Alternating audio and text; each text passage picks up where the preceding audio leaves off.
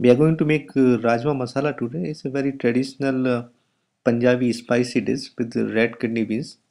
I have already boiled these red kidney beans with a few potatoes.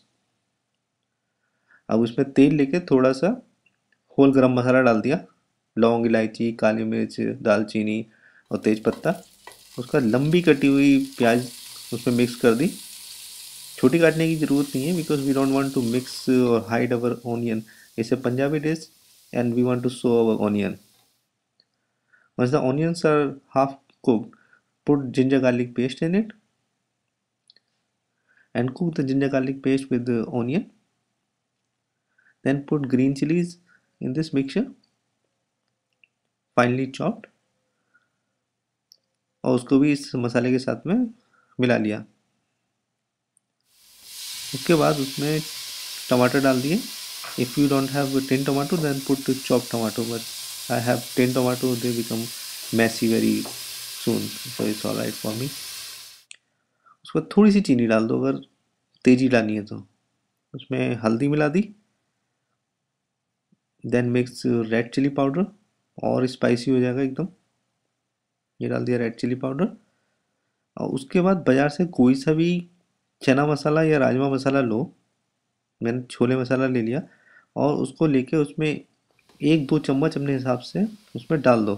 जितना तेज़ होगा, उतना मस्त होगा। मतलब बहुत ज़्यादा मत डाल देना तो कड़वा हो जाएगा।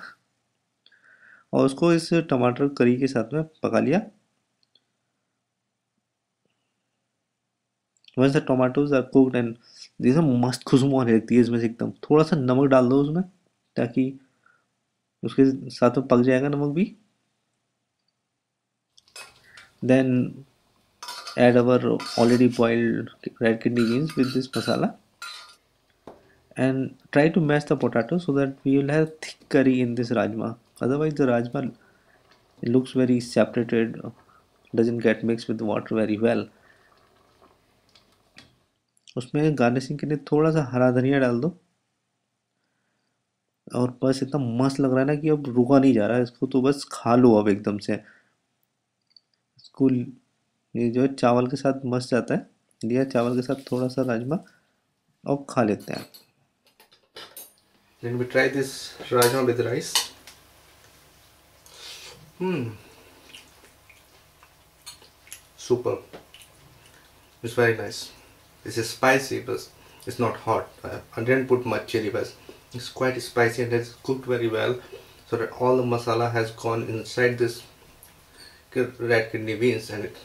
is superb.